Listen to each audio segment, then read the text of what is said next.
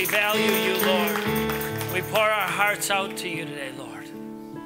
May you come, may you be glorified with us, Lord God, just responding to you with our hearts. We give you an offering today of our hearts.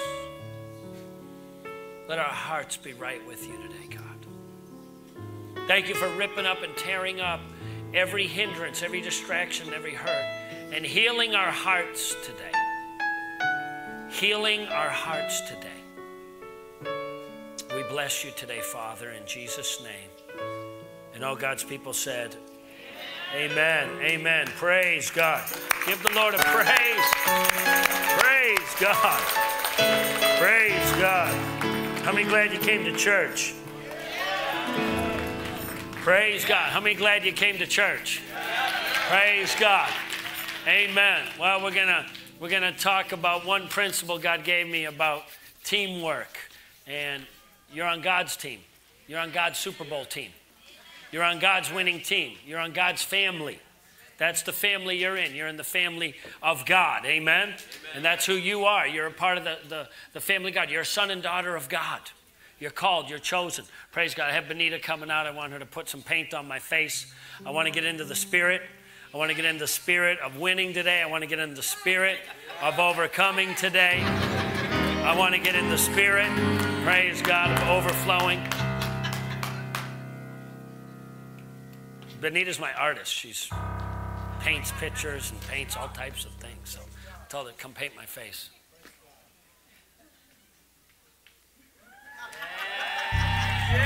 Okay, thanks, Paul. Praise God, right? Right? Get in the spirit of it, right? Get, get in the spirit of it. You're ready to fight. You're ready to do battle. You're ready to win. You came to win. You came to be an overcomer. Well, that's who we are in Christ. And whether your team's in the Super Bowl like mine or not, that's okay. All right? We love one another. We have a good spirit. It's okay if you're different. It's okay if you're different. I'm not upset or mad about that. I love you in Jesus' name. Amen? Tell your neighbor, I love you in Jesus' name. See, that, that's, what, that's what makes the house of God. That's what makes the house of God is the family of God is love. That's what makes us the house of God. That's what makes us the family of God. It makes us love one another. We, we receive from one another. We receive from one another. We, we flow with one another. Praise God. Now, you can't withhold that love. You got to release the love back. That's a healthy relationship when it's two ways. When it's one way, it's unhealthy and it's selfish and it's codependent. But you got to get in a flow with one another. And the Bible says that the world will know that we are the family of God by our love for one another. They will know, the world will know that we're disciples of Christ by our love for one another. We need to love one another first. We need to love one another first. If you know of a need of a brother or sister uh, in this body, you, you are to meet that need. You are to meet that need. You are to go and pour that need out. Or if you know somebody that has a need, to tell somebody that has the need that, that you know can meet that need to go minister to that person. The Bible says that to minister to your family first to minister to your family first. It's family first. Before you send out a text, send out a family first text. Send out a text to your family first. Send out a scripture verse or an encouraging word first to your family, your, your, your, your biological family. Then, after that, now it's the family of God. Now we minister to one another and we pour into one another as the family of God. Amen? Praise God. My son bought me this shirt because he said, Dad, your other one's got holes in it. It was 16 and 0, perfect regular season. And I had that for so many years, it was burning out, burning holes through it from cheering. And when my family gets together, we're, we're, we're screaming and yelling and shouting at the TV. When my family and my brothers got together, we'd be screaming and we'd be shouting. And so my son put that on the back for me. Praise God. So thank you, James. Praise God. You can hold it. Praise God. So we, we, he put my college baseball number on it, my number in college. So uh, number seven. So the shirt means a lot to me, James. Thank you. It's thoughtful. Thoughtful. Thank you. I want to give you one principle today for you to walk away with. I want to give you one principle. And Jesus was always talking in parables, and he was talking with uh, modern day illustrations, and, and so that people could grasp spiritual truth through modern day illustrations. I want to give you the scripture verse, Acts chapter 2, verses 42 through 47. Acts 2. I want to give you one word, and this is kind of the word that God's been ministering to my heart that we need to see go through this body and permeate through our lives and practice. It's called the, the word fellowship, but the word family. January and February, we're talking about the vision here prayer, family, equipping missions. Today's about family. Today's about family and carrying the family spirit. Carrying a family spirit where you take care of one another. Amen? Acts chapter 2, verse 42 through 47. And they all continued steadfastly in the apostles' doctrine and fellowship. Underline that in your Bible fellowship. Underline that word in your Bible. And in breaking of bread and in prayers. And fear came upon every soul, and many wonders and signs were done through the apostles. And all who believed were together and had all things in common, and sold their possessions and goods, and divided them among all as anyone had need. They took care of one another. They took care of one another. So, continuing daily with one accord in the temple and breaking of bread from house to house. Say house to house. House to house fellowship. They ate their food with gladness and simplicity of heart, praising God and having favor with all the people. And the Lord added to the church daily those who were being saved. Verse 42 and 46 says that they uh, met uh, in houses, breaking bread house to house, eating food with gladness and simplicity of heart, and they had fellowship uh, with one another. They had fellowship with one another. That's the Greek word koinonia. It's the Greek word for intimate conversation. It, it's, the, it's the Greek word for sharing your heart with another one. It, it's the Greek word for connecting in the spirit. It's more than a football game. It's more than a baseball game. It's more than a, it's more than watching a movie, a Hallmark movie, or a TV show. It's you sharing your heart with another believer, and that believer sharing their heart with you, and you praying with one another. That's, that's fellowship. That's biblical fellowship. And we need to bring, uh, the, the Lord told me to bring the meal back into the house of God. Bring the table back into the house of God. Bring the eating back into the house of God. Bring the fellowship around the table back into the house of God. Amen. We get so busy running here and running there and, and, and working and doing things that we neglect one another. We neglect one another. But the Bible says, love one another, pray for one another, encourage one another. Uh, speak to one another. Psalms, hymns, spiritual songs. The Bible is all about the one another's. The Bible is all about me and you speaking into one another's lives and encouraging one another in the things of God. Don't get so busy that you don't spend time in fellowship with other believers. You, you're, on, you're on God's team. You're on God's team and you're in God's family. And you, I read the back of the book, and we win. You're a winner. You're a winner in Jesus' name. You're a winner. Praise God. You're an overcomer in Jesus' name. And the, the Lord gave me this illustration. Uh, praise God. So I need 12 guys. Julio, come on up here. Stand on my side. Pastor Paul, I'm right there. Praise God. Brother Scott. James, go right there. Aaron, uh, yeah, you can bring the football. That's fine. Aaron, Brother Seraphin, Brother Charlie Ish, come on up here.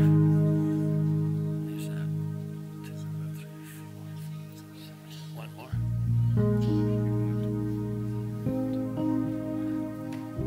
Eight, nine, I need two more.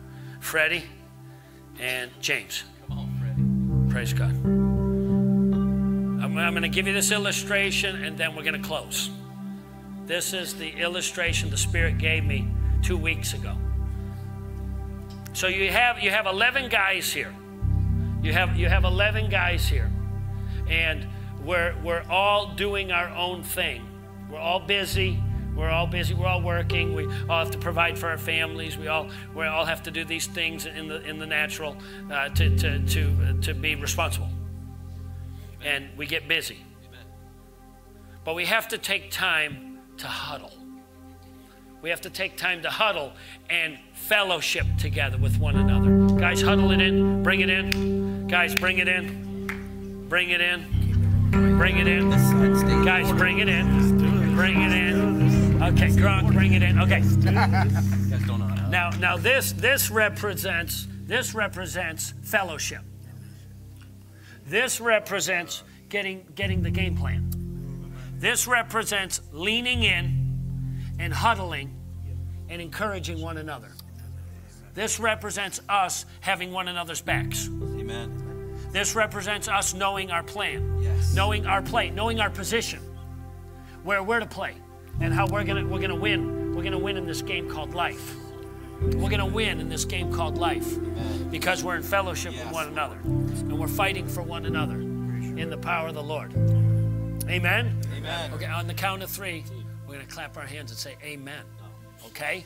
Because we're the victors. Because we're the victors. We today. are the victors. We're the victors, right, guys? That's right. We're, the, victors. we're the victors. victors. Scott, we're the victors. We're the victors. two, three. Amen. Break. Break. Seraphim, I'll call you up and Seraphim, come on up and share that. That was during worship. I wanted you to share that. And so I, I have one thought to give you on that. This vision goes with it. Blessings to everybody. As we were in the middle of the worship, and as Pastor uh, Verna read the vision that somebody else had had, uh, this that the Lord showed me went with it. And it was a huge uh, canvas, beautiful white. A pair of hands came and started drawing on it. As the painting started taking shape, uh, it, it, it came in more than 3D. It, it was almost 4D. And if you don't know what 4D is, it encompasses time and space. This became real. And the scene was total darkness all around. But in the middle of the picture, there were three holding hands and dancing. You could see just barely underneath them, there were waters that were moving back and forth. They were not touching, they were just like barely above it. From them, there was emanating so much light that it was something supernatural. Almost as if you were in a bonfire and the little sparks were coming up. But these sparks started forming a hurricane, a whirlwind of fire that was lifting up from them. All of a sudden, I saw a pair of hands grab somebody and put him in the middle of those three.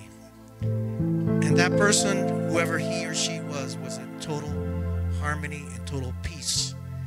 There was a storm raging around them, but they were fine. The three that were there were protecting, were the center of that person's life. And whatever you are going through, I want you to understand God has you in the middle of the storm. And even the fire may be all around you, it ain't going to touch you. The Lord told me also to let you know, as we made that declaration that, that we made with Pastor Ida, there's going to be testimonies. The Lord told me there's going to be mortgages being paid off. People that were ready to give up their businesses because they were like, I don't know if I can make this last, supernaturally are going to receive what they need to receive to be able to make their business not thrive, but they're not going to fold. People are going to get phone calls that are going to drive you crazy because you're going to say, Where did this come from? Listen, you made the, the, the statement. Think about what you say. You said, I'm going to have new jobs. And people are going to say, You applied for this job, and we want you to know that we want you for this job. When can you start it? You're going to say, But I did not apply for this job. But the jobs are going to be coming for you. Right. You're going to literally be getting those checks in the mail. Hello. Supernatural things are going to happen for you because you are in the center of God's perfect will. And even though the storm is raging around you, you're part of the team. And He is the quarterback. He's got you. Hallelujah. Thank you, prophet. Praise God. Praise God. Praise God. Threes. Threes.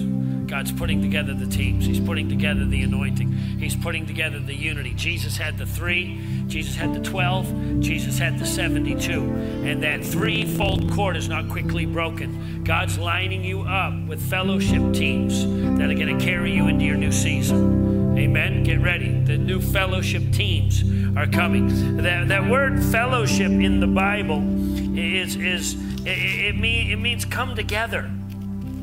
It, it means to, to get connected. It means to connect. It means to stop being disconnected.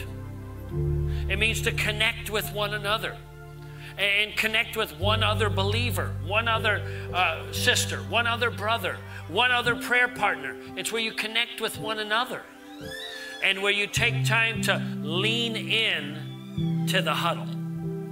Take time to lean in. Take time to lean in and listen. Take time to lean in and listen. You know, when the Patriots were playing two weeks ago, that's where I got this revelation that the, the stadium in Kansas City is the second loudest stadium in the NFL. The first one is Seattle. It's the loudest, the way it's architecturally made, and the, the, the, the noise of the fans is deafening on the field. It's deafening on the field. And so Kansas City's number two. So when, when the Patriots huddled, they had a huddle and then they had to lean in and they had to listen. You got to take time to huddle and lean in. You got to take some time to huddle and lean in and listen to one another. Take some time to huddle and lean in. You know what? When you do that, you're going to overcome the deafening voice of the world the deafening voice of the world, the world's voice that makes you lukewarm, the world's voice that makes you lethargic, the world's voice that confuses you, the world's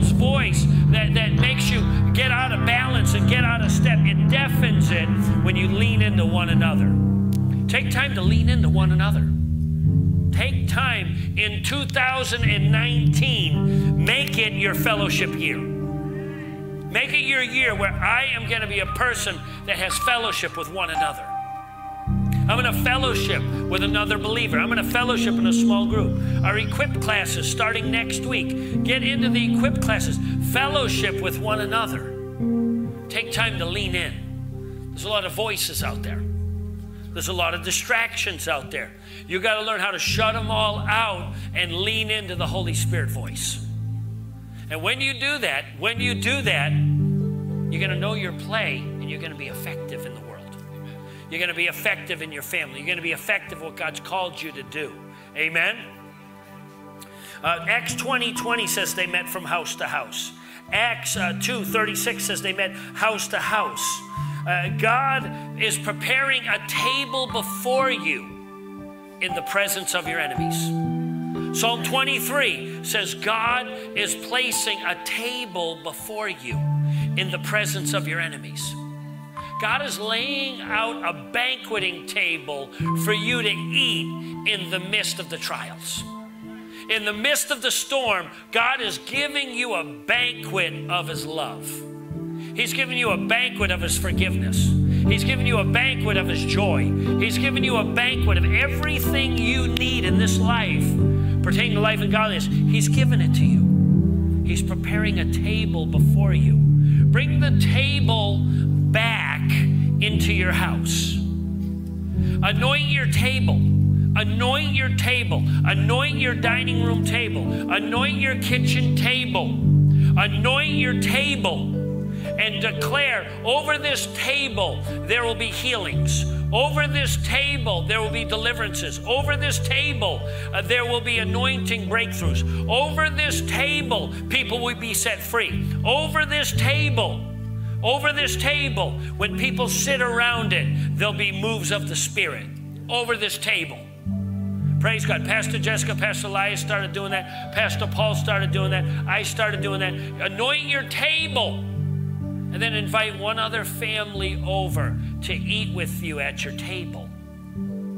And while you're eating at your table, and after you eat with gladness and simplicity of heart, then you talk and share with one another, and you pray with one another, and breakthroughs are going to occur. The, the, those streams of light, the, the, the embers, the spice, small groups this is how this church is going to impact the city of Waterbury and beyond. Fellowship with one another. Tell your neighbor, I need you. I need a fellowship with you.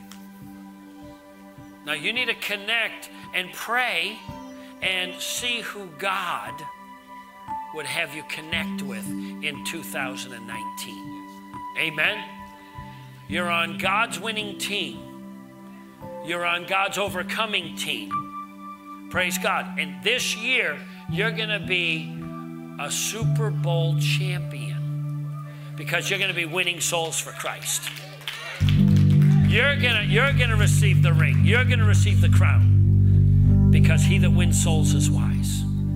Amen. Let's focus this year on fellowshipping with one another and creating that family atmosphere with one another, taking care of one another, loving one another, forgiving one another. Amen? Would you bow your head with me? Would you bow your head with me?